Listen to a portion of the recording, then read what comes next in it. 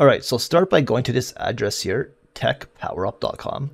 I will also provide the link in the description box so that you can have easy access to it, and to also make sure that you're going to the correct website. Once you get to the website, click Downloads. In the search downloads, type DLSS. This will give you a bunch of options here. You want to click on NVIDIA DLSS DLL.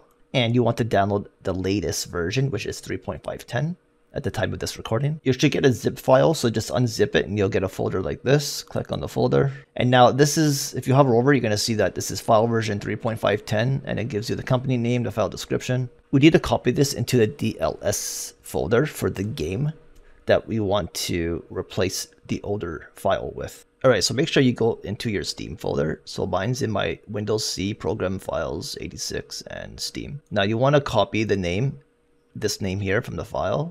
It's going to bring up a search of where all your DLSS files are. So you want to click on one of the files, right click, and you should see open file location.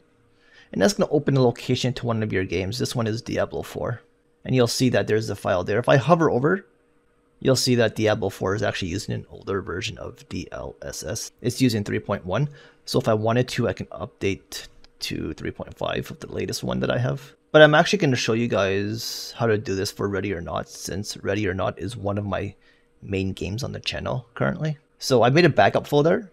This includes the old version. So you can see that I renamed it old dot and then this was the default name so that we don't use the old file. So you can see the the old file for ready or not is version 3.110. So just make sure that you check to see which file version the game is using before you decide if you want to update it.